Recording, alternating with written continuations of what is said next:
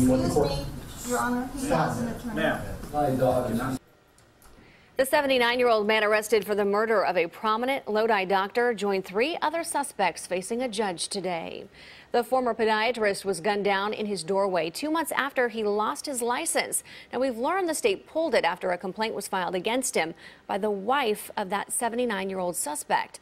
CBS 13's Carlos Correa was in Stockton and has the latest. All four suspects sat in the line waiting for their names to be called as the judge read their charges in connection to the murder of Dr. Tom Schock. 79 year old Robert Lee is the oldest of the four suspects arrested within the last few days, accused of shooting and killing Dr. Tom Schock in his upscale neighborhood in Lodi. Excuse me, Your Honor, he has an attorney.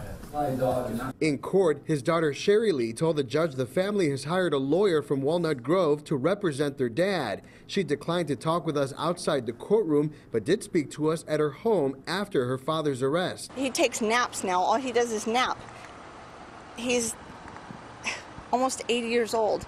My dad, I don't know. I don't understand this. Police arrested Lee on charges of murder, conspiracy to commit murder, and soliciting to commit murder. Also arrested, Christopher Costello, Mallory Stewart, and now 26-year-old Raymond Jaquette. There were a lot of people that, you know, knew, knew Dr. Schock, you know, were close to him. CBS 13 has learned Lee's deceased wife was Dr. Schock's former patient. In 2016, she filed a complaint against him with the California Board of Podiatric Medicine after treatment for what began as a hangnail led to a partial foot amputation. The doctor was placed on probation, and not too long ago, the state ordered the surrender of his license for a violation of that probation. We're uh, still working on determining, you know, what, what their uh, involved, uh, how they're how they know each other and what their involvement is. Detectives say they are no longer looking for any more suspects. The doctor's son spoke about his father in a written statement. My father was an unbelievable man. His passing has created suffering that I don't think our family could have ever imagined.